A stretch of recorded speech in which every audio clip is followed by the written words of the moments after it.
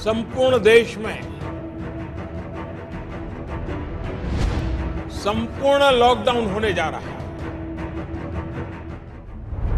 দু হাজার কুড়ি সাল পঁচিশে মার্চ দেশজুড়ে শুরু হয় লকডাউন গোটা দেশ নিস্তব্ধ পরিযায়ী শ্রমিকদের ঘরে ফেরার তারা এদিকে বন্ধ পরিবহন ব্যবস্থা পায়ে হেঁটে ফিরতে গিয়ে পরিযায়ী শ্রমিকদের মৃত্যু আর এর ব্যাপক প্রভাব পড়ে অর্থনীতির উপর কৃষি থেকে বিভিন্ন শিল্প, সব ক্ষেত্রেই প্রভাব পড়ে।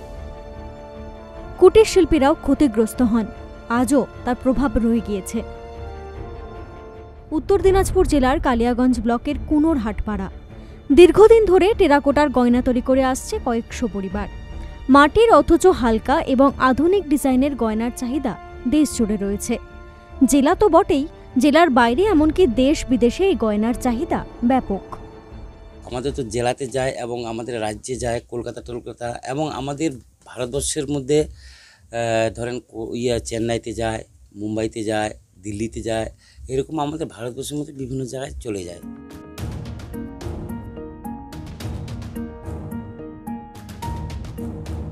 চাহিদা থাকলেও ব্যবসার অবস্থা খুবই খারাপ। বিক্রি প্রায় বন্ধ। আমরা ওই যে করোনার জন্য বাইরে মেলা যেতে পারছি না।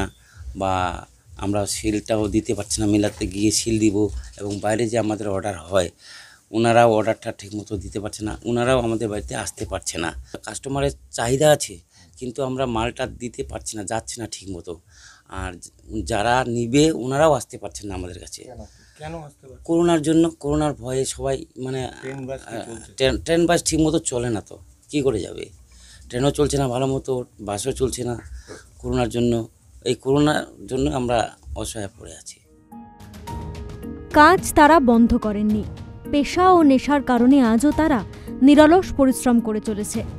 শৈল্পিক ছোঁয়ায় একের পর এক তৈরি করে চলেছেন গলার হার থেকে শুরু করে কানের দুল।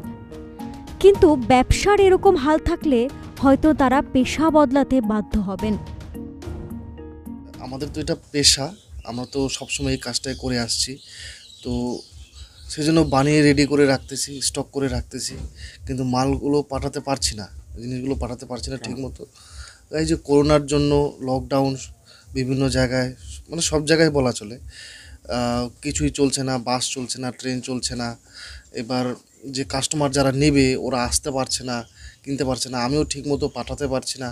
তো এইভাবে অসুবিধা হয়ে আছে আমাদের। চললে কীভাবে চলবে তো এইভাবে যদি সব ঠিকঠাক না হয় এইসব কিছু এবং কি সরকারও যদি আমাদের মানে দেখে, আমাদের দিকে যদি কোনো ব্যবস্থা না করে, তাহলে আমাদেরকে পরবর্তীকালে অন্য কোনো ব্যবস্থা বেছে নিতে হবে, অন্য কোনো অথবা অন্য কোনো পেশা, পেশায় যেতে হবে আমাদের।